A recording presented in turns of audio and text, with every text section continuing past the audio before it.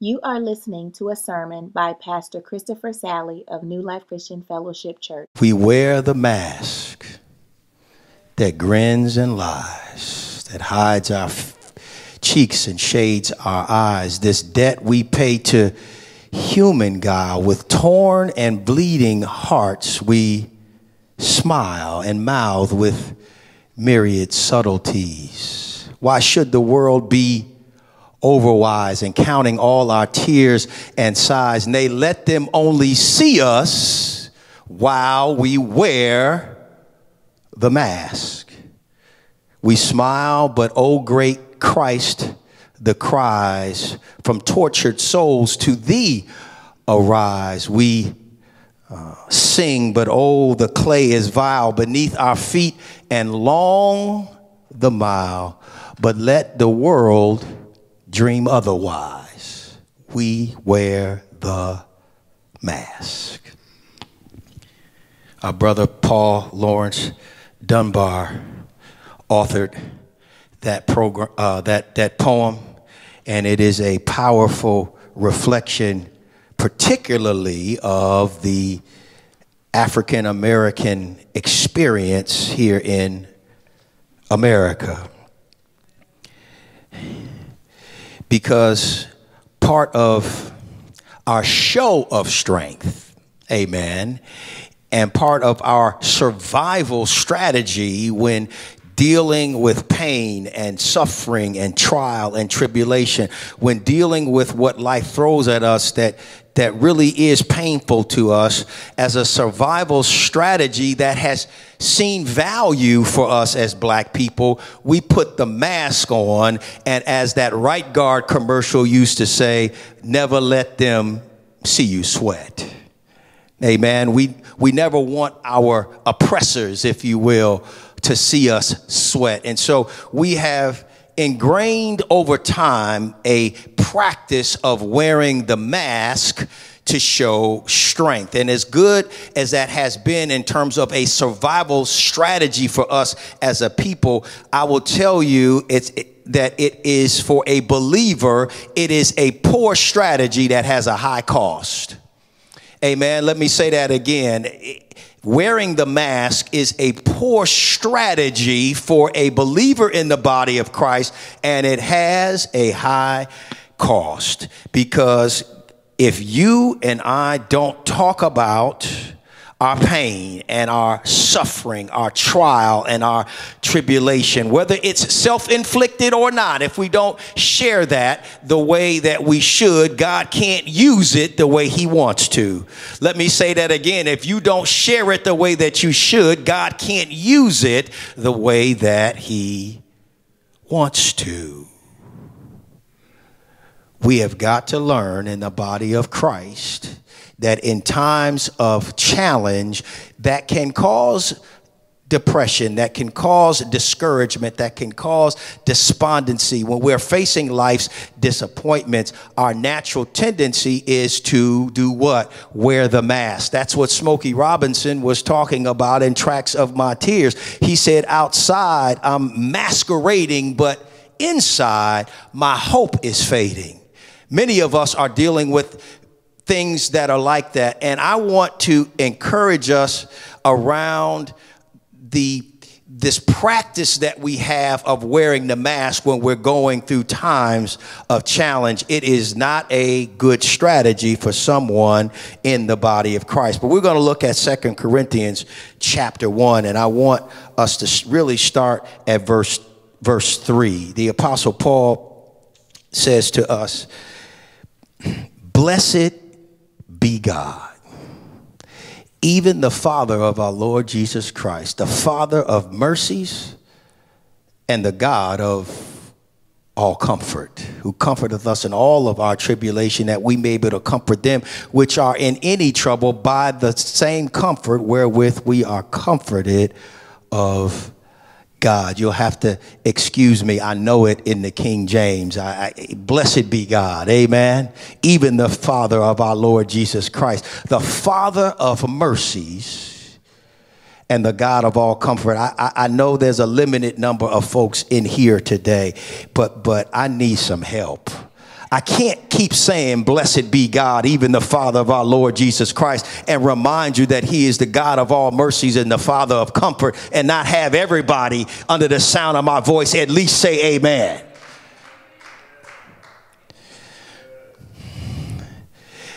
When you're going through, beloved, sometimes the last thing you want to say is, Blessed be God. Let's just be real. Can we be real in the minutes that we have this morning? Sometimes the last thing you want to do is say, Blessed be God. And part of the reason is when you talk about discouragement, it's that lack of vision when we have those unreconciled differences, when we don't see things like God sees them, when we want different things in our life to manifest themselves than what we see from God. It is very difficult in times of challenge when we're facing unmet expectations, when we might have an unhealthy body, when there's an unplugged lifestyle or some uncontrolled flesh, or, or there's some unreconciled differences, and we're fighting all of those challenges and we we talked about those things last week. It's really, really difficult if you don't get into the right headspace, if you don't get your mind right, if you don't get your spirit right, to simply exhale and say, Blessed be God. But if you can't lift your head up and say to your heavenly Father, Blessed be God, you won't get the benefits of what comes next. Blessed be God even the Father of our Lord Jesus Christ, the Father of mercies, and the God of some comfort. No, the God of all comfort. Not, not just some comfort. He's the God of all comfort. Amen. That, that, that's got to help you. And so, the first thing I want you to realize about these verses, and I want to just remind you and encourage you around is you and I need to do a couple of things that these verses show us when it comes to discouragement and, and fighting against the challenge of it. You've got to embrace the comfort of God. You've got to embrace the comfort of God. But in order to embrace the comfort of God, you have got to take that mask off. Amen. The first person you need to take the mask off in front of is the God of mercies the father of mercies excuse me and the god of all comfort. Amen. That's the first the first person that you should be the most intimate with. I know you and i want to keep the mask on for other people. I know we want to post on our facebook and our instagram and our twitter that everything in our life is going well and sometimes we assume and rightly so that if you're not posting something must be wrong in your life. Amen. Because most of us don't post anything that's bad. We only post that, everything is good. It's like we're living a sweet life. Everything is great. That's part part of the mask that we're doing when we're going through. We're masquerading, but inside our, our hope is fading. When we're wearing the mask that grins and lies, he said, Why should the world be other? What should, should they be otherwise? And counting all our tears and sighs, nay, let them only see us while we wear the mask. But the first person you and I need to take that mask off, that mask that's hiding pain, that, that, that mask that's hiding suffering, the mask that says, I, I just don't know what to do. You, you and I need to take the mask off and say, Blessed be God. We got to embrace the comfort of God.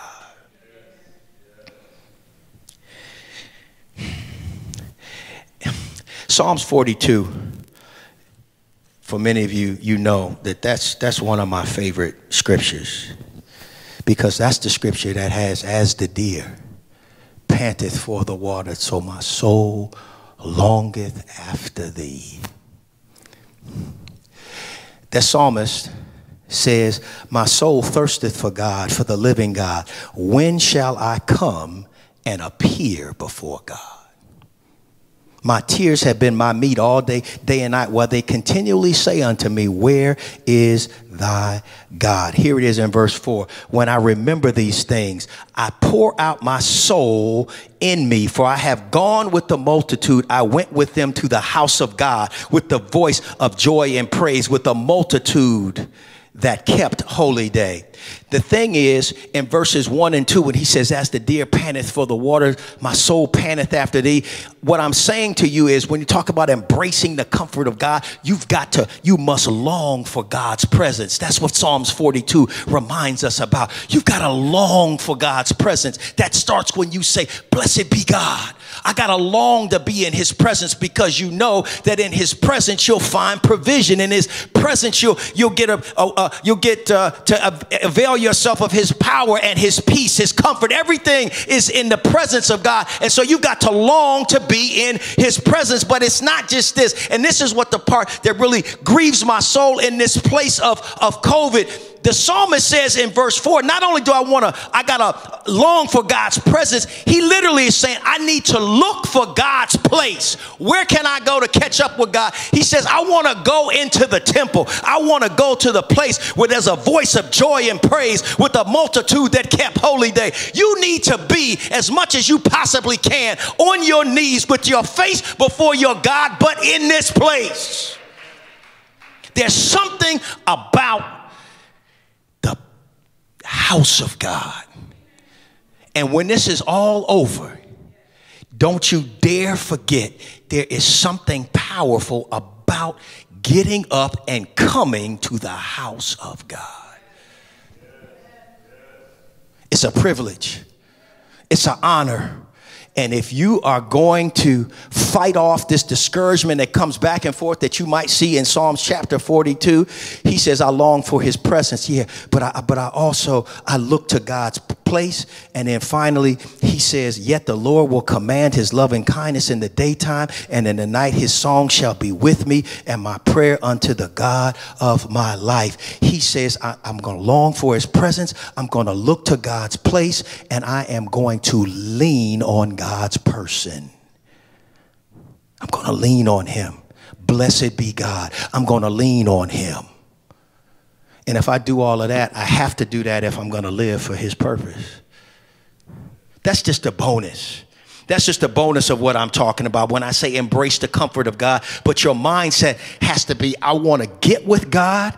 I long for his presence. I long to be amongst his people. I want to be in his, his place. I, I want to go where there's a, the sound and the voice of joy and praise. I want to literally lean on his person because I know everything I need, God is. All of that I need so that I can live for his purpose, so that I literally won't be discouraged. Because literally every every time the, the psalmist has to say, said, but but they keep saying to me, My tears have been my meat day and night, while they continually say unto me, Where is thy God? And again, these bouts of discouragement are coming, but he keeps going back intermittently and says, You know, why is my soul cast down? Why are you cast down, my soul? Why are you disquieted within me? But he says, Hope thou in God, for I shall yet praise him who is the health of my countenance and my God. As we said before, like sometimes you got to encourage yourself.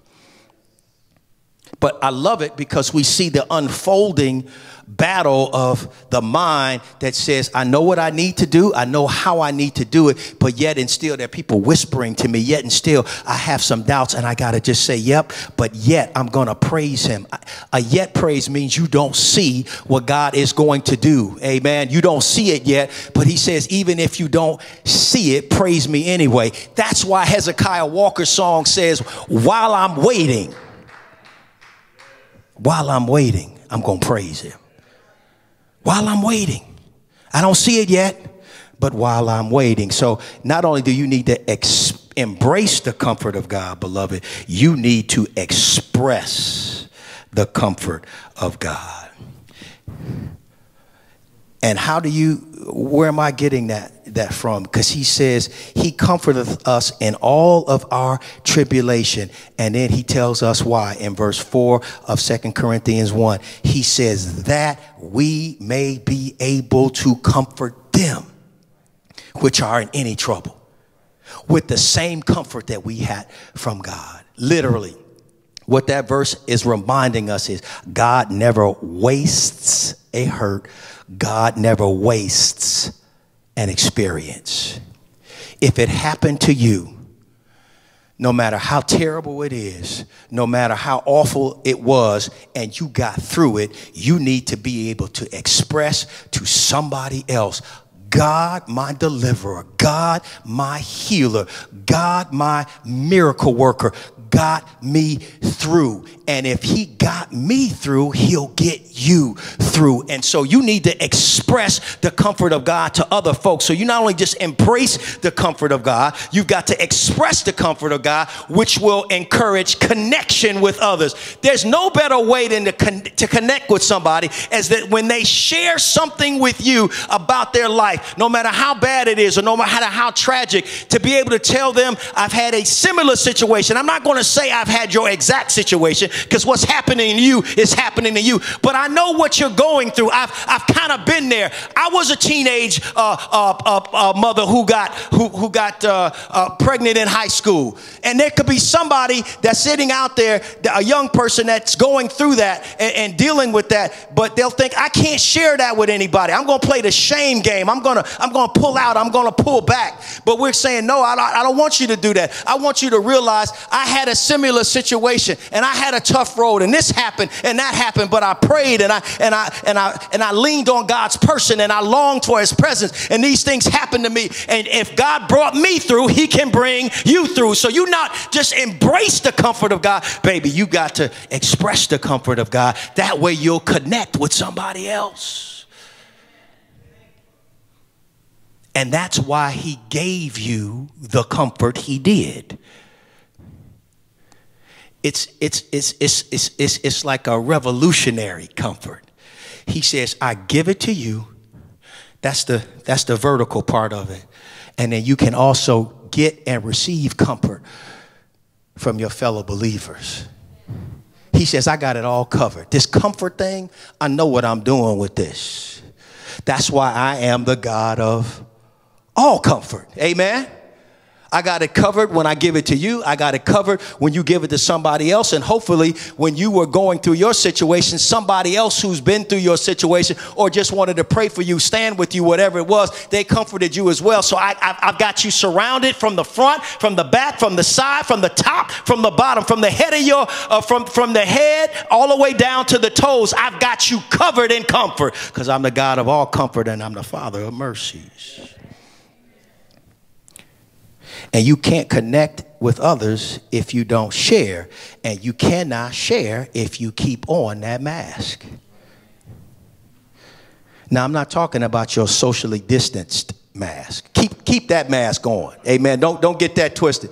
Pastor told us to take off the mask. No, that's not the mask that grins and lies. That's the mask that keeps us safe. Amen. Keep that mask on. But I'm talking about that other mask. Amen. And so the, the, the scripture goes on to really talk about uh, um, in verses 8 through 10, really, but he, he, he says, For the sufferings of Christ abound in us, and our consolation also aboundeth in Christ. The Apostle Paul says, literally, there are things that I've suffered.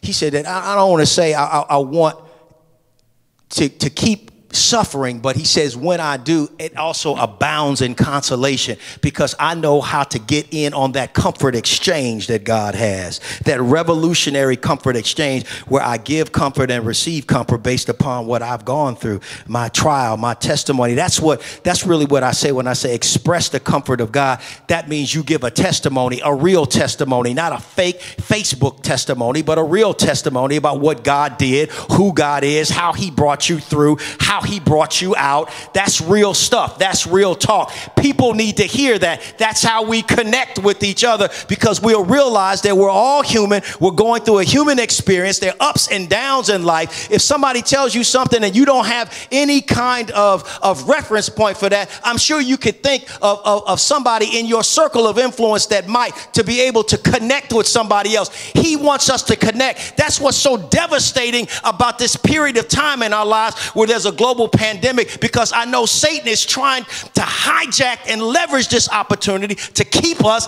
disconnected. And he wants to de emphasize connection so that even when we're available uh, in 2021 to come back and be together, there are people that are going to be like, I'm, I'm good where I'm at, and Satan is going to be clapping, and we will be the worse for it because we're not connecting the way we should.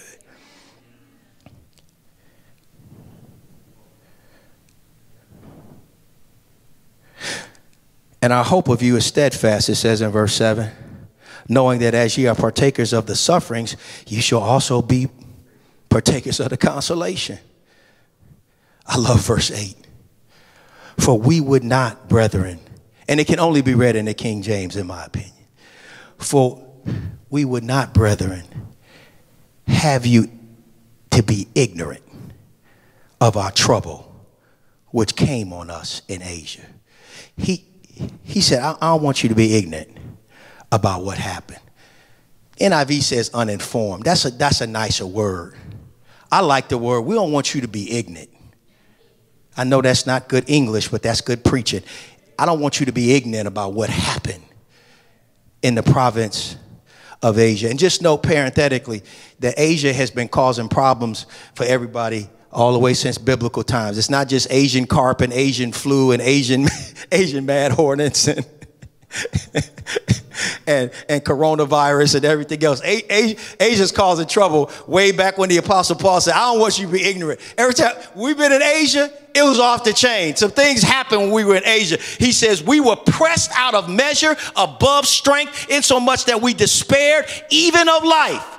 But we had, and we had the sentence of death in ourselves that we should not trust in ourselves, but in God who raises the dead. Literally, this is, this is the verse that disputes that phantom verse that people quote that's not in the Bible that says God will not put on you more than you can bear.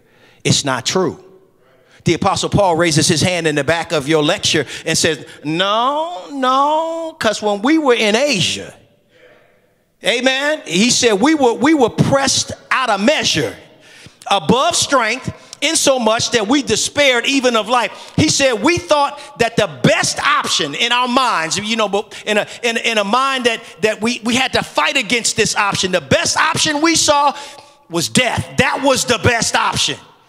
And there's so many people whose circumstances in life get us to a place where we believe that the only thing we can do is end our lives. It's, it's, it's, it's more prevalent than you think. Why? Because people have on masks and they don't talk about it. But we got some folks among us that are dealing with some heavy things in their hearts and in their minds, and they literally think the best option is for me not to be alive.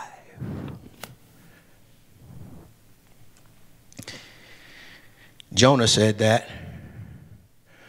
He said, I'd rather be dead than deal with what I need to deal with with you, God. but it wasn't just him. As you might expect,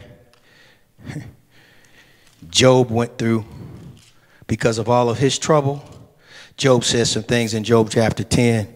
He says, Wherefore then hast thou brought me forth out of the womb? Oh, that I had given up the ghost and no eye had ever seen me. He said, I should have been as though I had not been.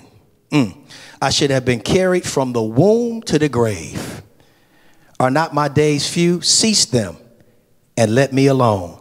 Then I may take comfort a little. He said, The only thing I have going for me is, is that my days should be few and they should be, it should be over soon. Then I'll be able to go down to the, to the grave from whence I came, even to the land of darkness and the shadow of death. You can imagine with all that Job went through. He said, literally, it would have been better for me never to be born. He said, it would have been better for me to go straight from the womb to the grave. That's depression. That's discouragement. Jonah had something similar for what we would describe as really no good reason, as we've, we've, we've talked about uh, Jonah before. Uh, J- Jonah saw that plant come up and die at the same time. But in, in Jonah 1 and 17, uh, you know about now the Lord had prepared a great fish to swallow up Jonah, and Jonah was in the belly of the fish three days. But when Jonah was on that boat, and Jonah told them, I know why we're in all of this tempest and trouble. I know why. I know why we're here. So he said, Listen, take me up, throw me into sea, into the sea and the sea will be calm. For I know that for my sake this great tempest is upon you. I'm telling you what Jonah believed and what Jonah thought was good. I don't want to go to Nineveh anyway. I know if they throw me into the sea, what will happen is it'll be over for me.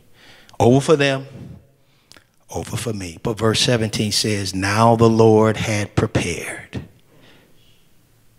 a great fish to swallow up Jonah. Jonah was not counting on but the Lord. Amen.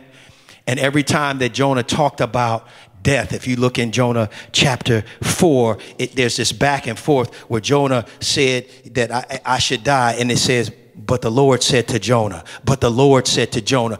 Every time Jonah got to a place of despondency and even thinking about, I want to die, God intervened and talked to him and God intervenes and talks to you and he talks to me as well. And he says listen let me let me tell you my child what's going on. It's the option is not for you to end your life. The option is not for you to think that death is your best option. Amen. And so when the apostle paul said in the province of asia we we we we looked and said, listen, it, it's, it's so rough around here with what has gone on that we despaired even of life. But we, and we had the sentence of death in ourselves that we should, but he says we God did this so that that we would have the sentence of death in ourselves, yes, but not that we should trust in ourselves, but in God who raises the dead.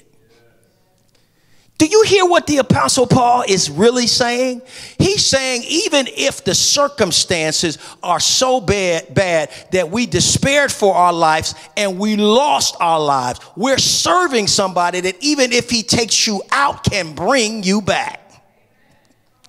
He said, even if I get taken out, I'm serving a God Y'all not hearing me. I'm serving a God that can bring me back. And so I understand this is what I want you to learn from these verses. This is what I want to remind myself of when you're going through a place of despondency and discouragement and the circumstances are even so bad that you've thought about taking your life. And I'm thinking of friends of mine that I've talked to and, and folks that have that have been in our in our body and, and, and, and under my under my leadership and under my care in terms of that have told me my circumstances are, are such that I I've thought about committing suicide.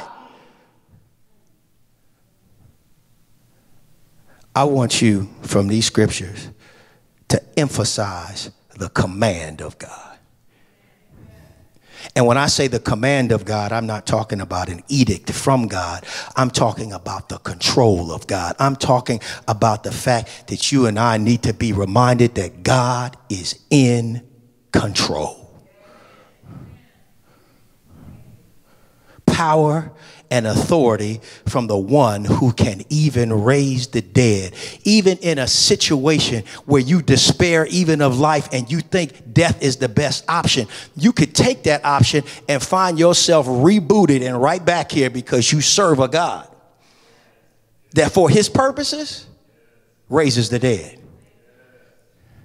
You, I just want to emphasize here, and the Apostle Paul does, the emphasize the command of God. But you can't, I don't want us to just look at this passage and, and, and emphasize the command of God. I want us to experience the command of God.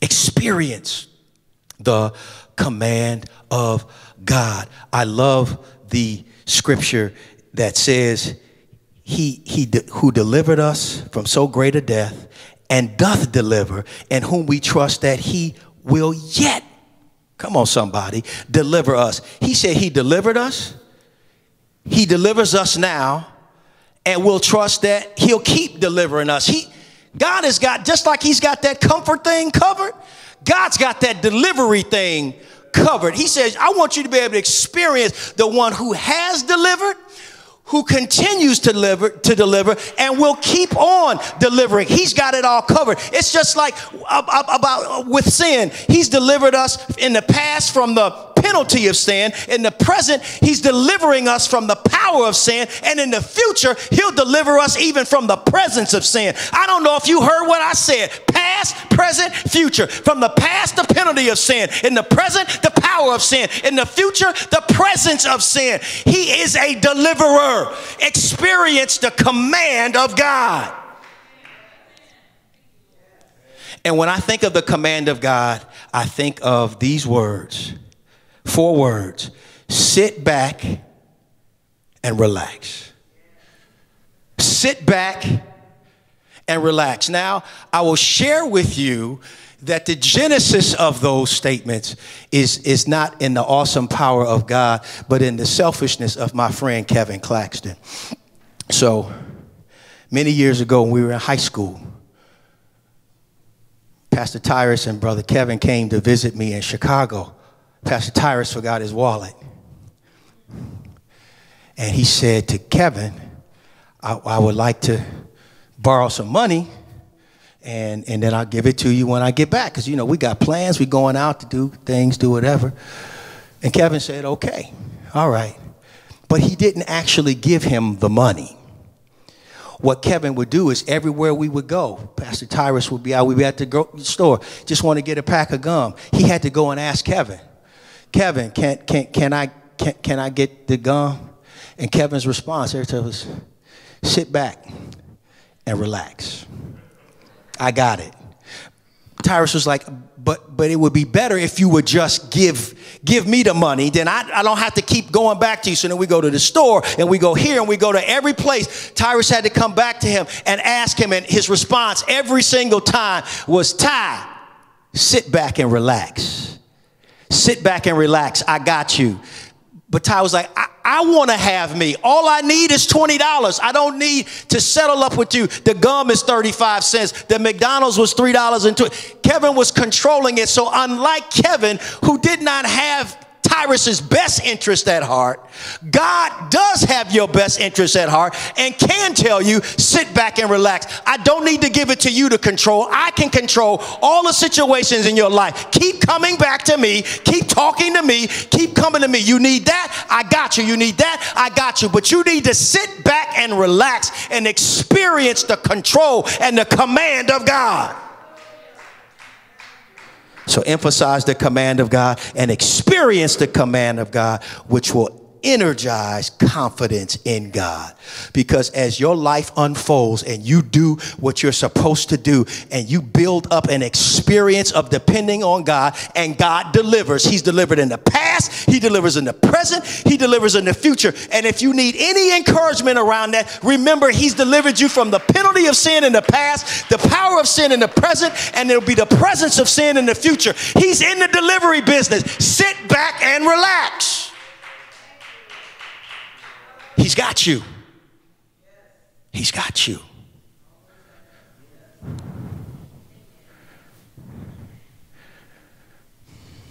And last but not least, this is just a, a bonus as we close. That verse in verse 11 says, Ye also helping together by prayer for us, that for the gift bestowed upon us by the means of many persons, thanks may be given by many on our behalf. I don't, I, I would rather read that in the, in the King, in the NIV as you help us by your prayers, that many will give thanks on our behalf for the gracious favor granted us in answer to the prayers of many. The thanks of many, it says, and the prayers of many. Here's the bonus when you take off that mask, you get an opportunity to employ the community of God to employ. That means you get you, you get to utilize, you get to benefit from and leverage, if you will, not just your prayers and your thanksgiving, but you allow that to spread. You allow other folks to get in on what God is doing.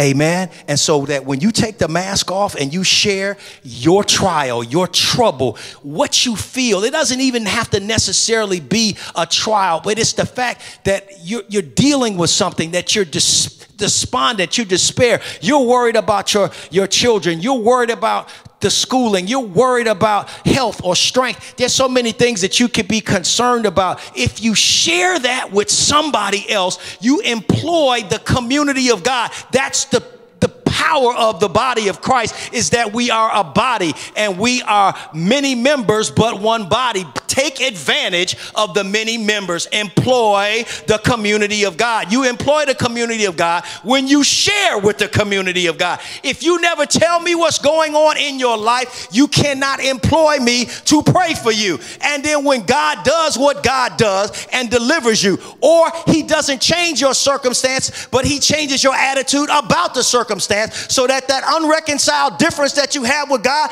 you get on God's page, which is just as good as God for God because he's been waiting for you to say yay and amen to what he has, yay to his will, yay to his way. He wants you on his page. And you come back and tell me I was praying for this, and either you got it or you got on God's page and you didn't. I'm going to thank God for what he did in your life. Because if he can do it in your life, he'll do it in my life. And so he says, Many thanks have come up because of the situations that go around when you get into a place of comfort and God delivers. Many thanks, and then also there's many prayers. Amen. And so you employ the community of God, they start to pray. You also excite the community of God. That's what the thanks are all about. Don't you get excited when you hear prayer requests that have been answered? I spend the Bible studies I have with the young college men, the Bible study that I have with the men, the first part of it is always about prayer requests and praise reports.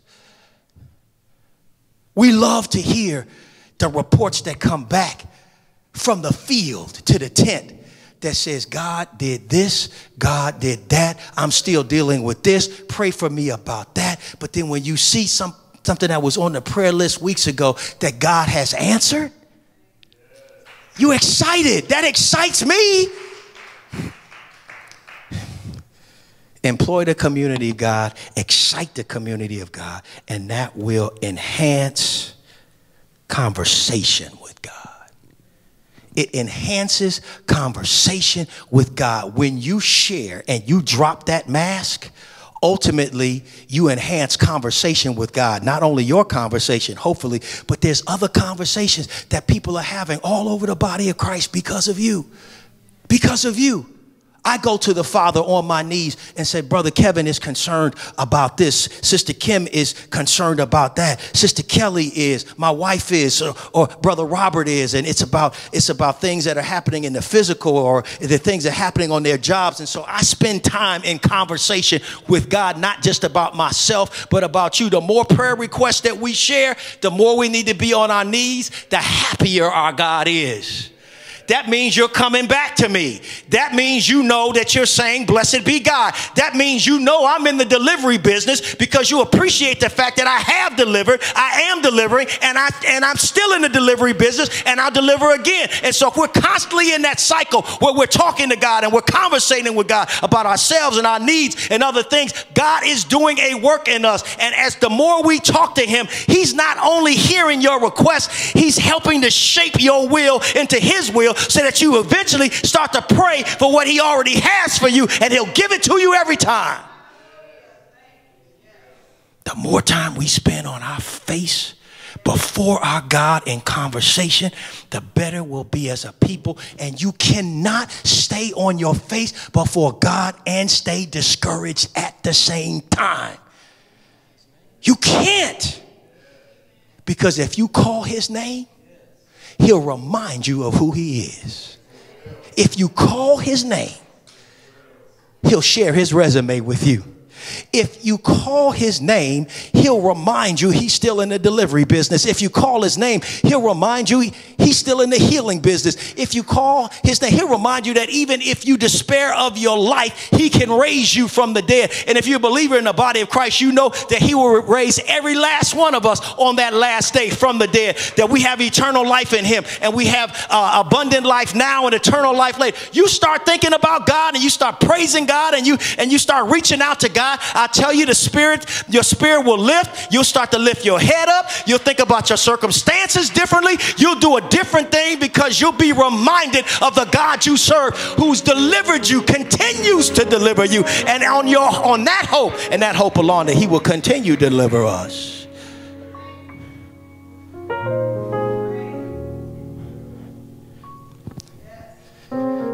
You'll never do any of that if you keep that mask on. Drop it. I know it's been a, a great tactic for us as black people, but as believers, it kills us. We have got to drop the mask. Because God sees behind it anyway, even if nobody else does. Drop the mask and allow God to do a work in you.